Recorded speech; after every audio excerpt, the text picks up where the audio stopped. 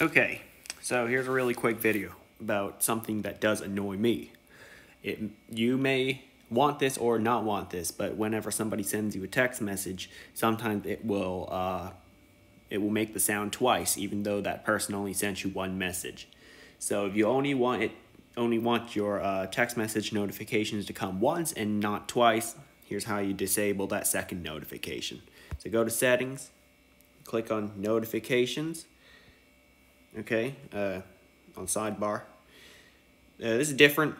Actually, this is the same for both iPads and iPhones. Uh, so it's just that the sidebar stays there on iPads, but uh, on iPhones, just click on the notifications tab. Go to messages and click on customize notifications. Go to repeat alerts and click never. That's how you disable that second notification. So that's how you do it. Thanks for watching, and I'll see you next time.